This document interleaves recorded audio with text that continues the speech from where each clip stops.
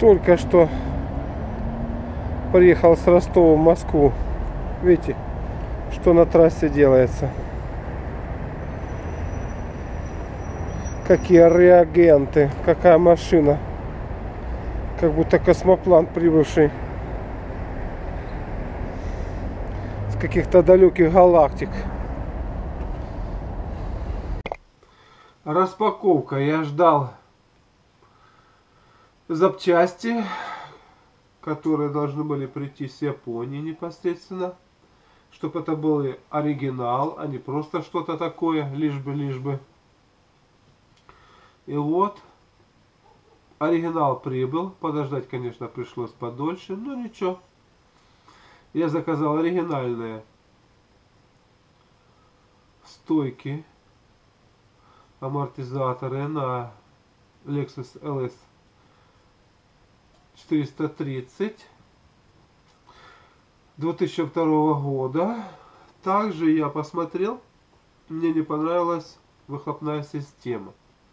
И я ее также заказал всю в сборе. Вы видите, идет распаковка. Достается навье, чтобы это все было. И так как моя машинка с 2002 года вообще не подвергалась э, никаким ремонтам по части подвески, ну и ремонта выхлопной системы, то это первый ремонт. То есть 15 лет прошло, и я решил все это сделать. Почему я решил? Мне не понравился выхлоп, начала секти с какого-то там отдела, то есть это начало влиять на, на шум от машины. Он вообще-то особо и слышен не был, но тем не менее. Я решил все заменить, тем более там глянул, кое-что там поржавело. Амортизаторы, амортизаторы служили, долго они служили. Но потом я почувствовал, что при прохождении таких, знаете, больших лежачих полицейских, машинка начала задом чухаться. Вот это как раз э, катализаторы, новые катализаторы. Можно, конечно, было обойтись и без них, но я думаю, что если такая у тебя машина, то э, надо сделать все так, как, как положено а не просто тяп-ляп, лишь бы, лишь бы там что-то сделал. А, едет, едет. Так, это у нас глушитель пошел.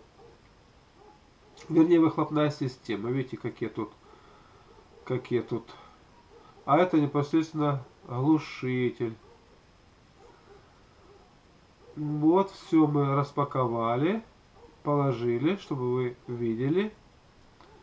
Вот так все это выглядит. Можно сказать, красота, которую не видно.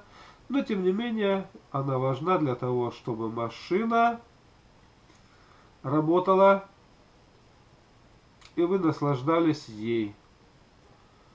Потому что эта машина для того, чтобы не просто ездить, а наслаждаться. Вот она все новое. Итак, сегодня мы производим замену амортизаторов. Как сказали мастера, автомобиль в очень хорошем состоянии. И теперь мы только обновим амортизаторы и э, поставим новую выхлопную систему. Загоняем машину в гараж. Вот она заходит. Так, это у нас моторный отсек, вы видите. Его надо будет разобрать. Машина, конечно, грязная. А зачем показывают задние сиденья? Оказывается, за задними сиденьями находится крепление стоек. И для того, чтобы заменить задние пневмоамортизаторы, надо разобрать вот эту заднюю сидушку. А впереди мы снимаем с вами актуаторы. Вот они какие. Два актуаторика. Э, задача их э, в том, чтобы регулировать жесткость амортизатора, поворачивая шток. Значит, вот видите, заднее сиденье разобрано, и вон они там стоят. Сейчас все это будет раскручено. Вот, очень хорошо видно, что машину подняли на подъемник, сняли колеса, снимается подкрылок, отсоединяются все эти э, трубки подачи воздуха. Нижнее крепление отсоединяется. Вот он какой старый. Задняя стойка амортизатора. А это передняя стойка. Мне понравились они такие мощные. Ух! Вот трубка подачи воздуха находится сзади. Вот она. Нижний болт крепления мы уже открутили. Ну, устал, естественно, устал за 15 лет. Любая техника устает. А это правая сторона. Нижний болт крепления еще не откручен. Вы видите старую стойку. А это задняя стойка, правая сторона. Вот так это все выглядит, да? Ясно, понятно, наглядно.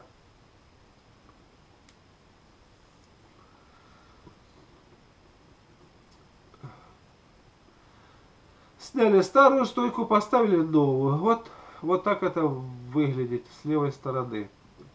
Это передняя стойка с левой стороны. Э, все сняли сверху, чтобы было удобно делать. Это вы видите новый амортизатор. Сейчас будем вставлять его на свое место. Трубка подачи воздуха, все как положено. Видите, блестит нафиг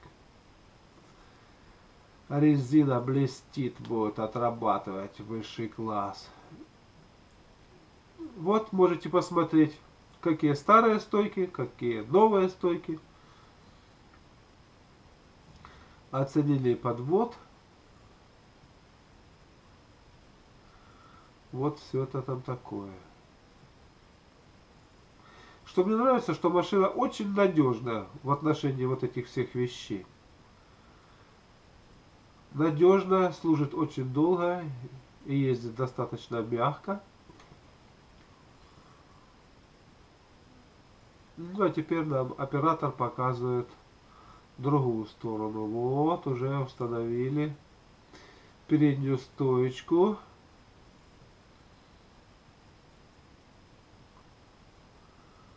Как она выглядит.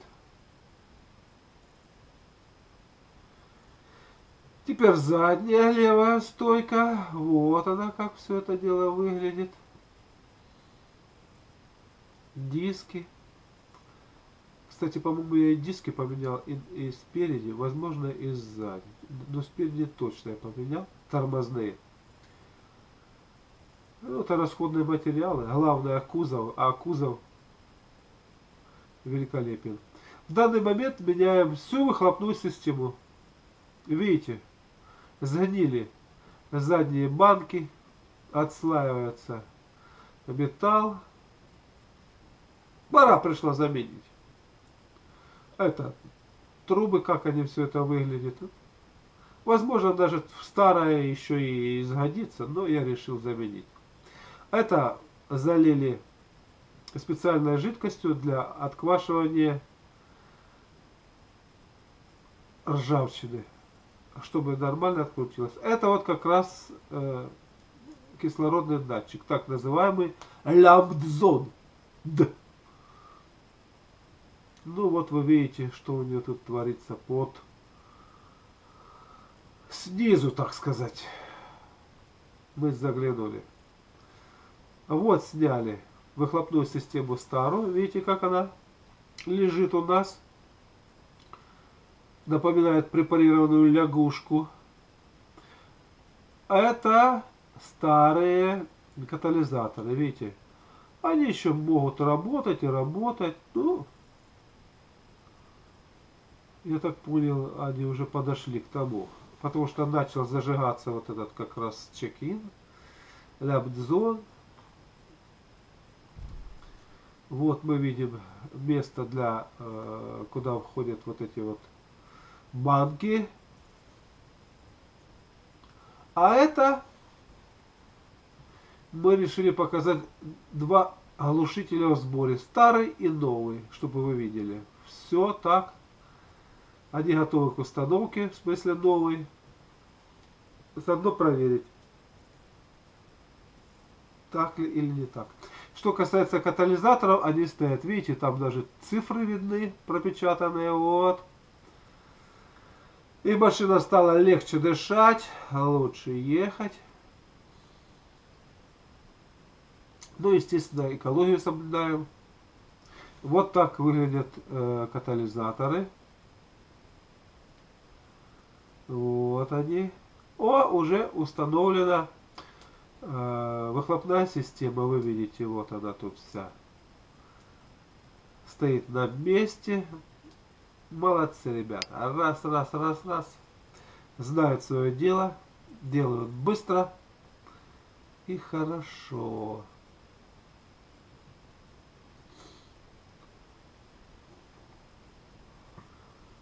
Вот все. Стойки стоят, выхлопная система на месте. Вот они. Кислородные датчики, вы видите, как это все вкручено.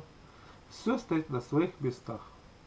Машина готова к эксплуатации дальнейшей. Я думаю, еще отъездит на ней 15 лет.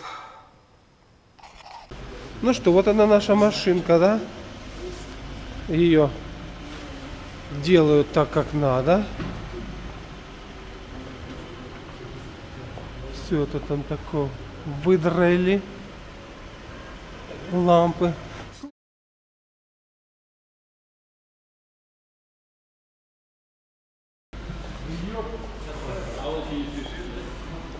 Mm-hmm.